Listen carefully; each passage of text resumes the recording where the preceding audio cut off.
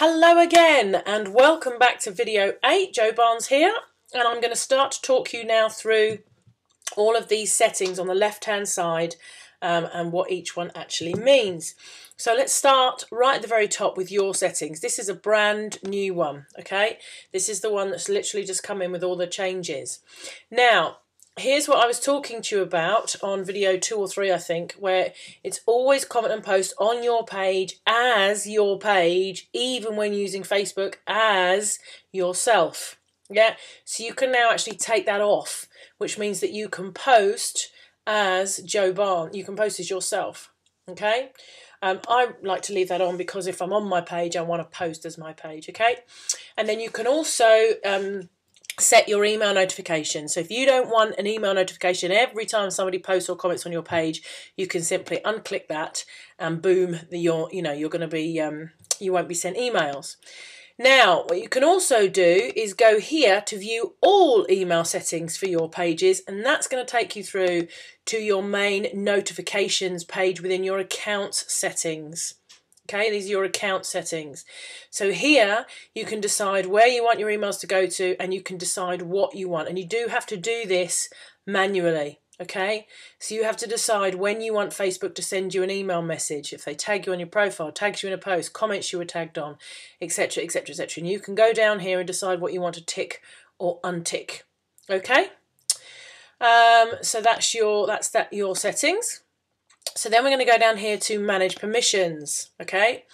All right, here is where you can decide whether to publish your page or keep it a secret at the moment until you're ready. So if this is ticked, it means only admins can see this page. So if we go to view page, you can see this page has not been published. To make this page public, to make this page, put my teeth in, to make this page public, publish this page, okay?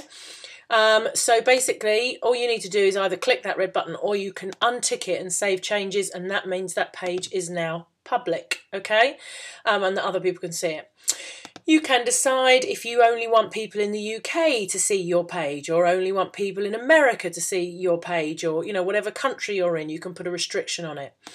You can have an age restriction on your page, whether you want, you know, only people of 18 and over or 19 and over, and you don't want any children or anything like that, okay? Then the wall tabs are what I explained to you when I took you on a tour of free fan page templates. Either everyone or only the posts that you have posted as the page admin. Yeah, so I always tend to leave it as default to everyone so that, you know, I can see everybody's posts on there. Okay. Now this is a key one. This is an absolute key one. Default landing tab. You can choose where you want people to land. Now, on this particular page, and I'm not sure how, I think I've gone into the wrong social networking academy. Let me just check. I have. Okay, hold on one second. I've already set one up, you see. So hold on, let me just pause this. Sorry about that, ladies and gentlemen. That's because I have actually already created a Social Networking Academy page um, and, uh, and I'm just using this as an example for you. So I've gone back to the one where we've uploaded our image.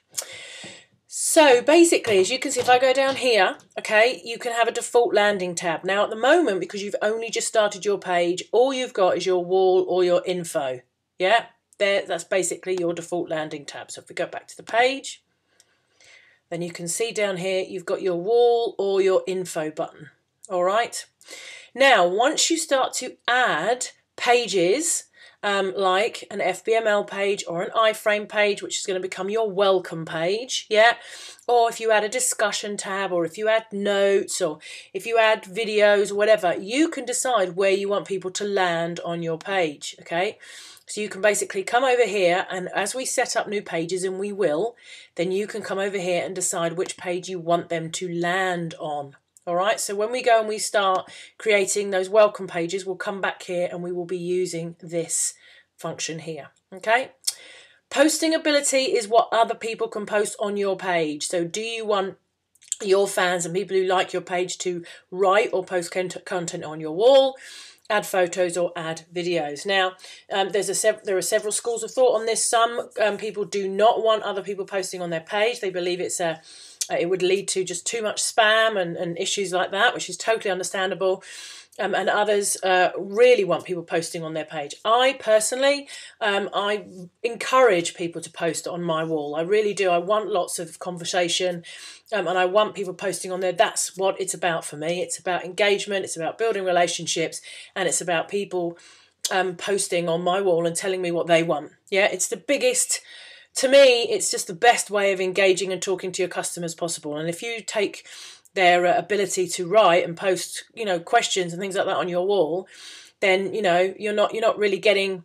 They can they can comment on your posts, but you want fresh posts and questions and what do they you know what do they want from you and things like that. I just think that's that's um, that's my personal opinion, but it's entirely up to you. These two things down here are new, so you can basically moderate. Um, terms phrases words yeah? So basically you can you can put terms on here and, and say okay uh, if anybody starts to use this term then I want them blocked from my page yeah? So that hopefully will kind of keep spam away if you can think of the kind of types of terms um, that you want to use there. And also profanity block list. You can decide whether you want sort of medium or strong blocking on on on sort of aggressive language yeah so, Facebook will block the most commonly reported words and phrases marked as offensive by the broader community. And for this one, you can add comma separated keywords to the moderation block list when users include blacklisted keywords in a post and or a comment on your page. The content will be automatically marked as spam. Okay, that's that. And then you can permanently delete this page if you want to delete it from your manage permissions section. Okay, guys? All right, so that is the your settings and manage permissions. In the next video, we're going to go through basic information, profile picture featured, and admins. All right, so we're going to go through all of that in the next video. So I will see you, I think it's on video nine now.